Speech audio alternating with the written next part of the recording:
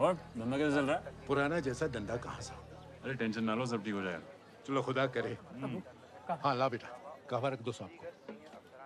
अरे अरसलान बड़े दिनों बाद देखे यार। कहाँ गायब रहते हो? बस दोस्तों के साथ गया हुआ था। अच्छा? इस उम्र में घर पे कहाँ पैर टिकते हैं साहब? बस वादियों में घूमते रहते हैं। आपकी वादियों में फिसलन भी बहुत है कपूर मियाँ। कश्मीर में पैर फिसला तो बंदा सीधा पाकिस्तान में नज़र आता है। ओए तू स्टार है विकी है कोई और 24 साल का लौंडा आर्मी में जिसने इतना बड़ा काम किया हो इसने पूरे रेजिमेंट का नाम रोशन कर दिया है। प्राउड ऑफ़ यू यार। थैंक यू जस्सी सर थोड़ी फ़िक्र होने लगी है मुझे आपकी। ये सारा सुधरेगा नहीं रघु साहब।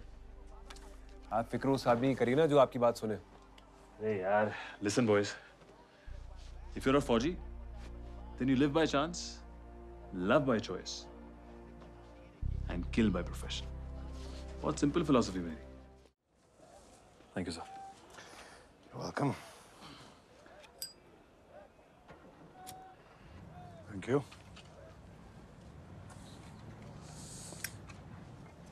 कहाँ के हो तुम? पालमपुर हिमाचल सर हाँ तो तुम भी आर्मी फैमिली से होगे जिमी की तरह। नो सर मेरे पेरेंट्स टीचर्स हैं सर इट्स इंटरेस्टिंग यूजुअली इस तरह की बहादुरी खानदानी होती है। क्या पार्डन सर लेकिन एक टीचर का बेटा भी दिलेर आर्मी ऑफिसर बन सकता है सर फौजी फौजी होता है सर कहीं भी पैदा हो सकता है. यार आजकल बड़ी अफवाह उड़ रही है कि वॉर होने वाली है. इस बार सालों का पाला तेरे भाई से पड़ने वाला है। यार वो सब तो ठीक है पर तू ना तू सारे मार कट के वापस आ जी बस. वन पीस ठीक है? कोई फ़िक्र ना कर जानी।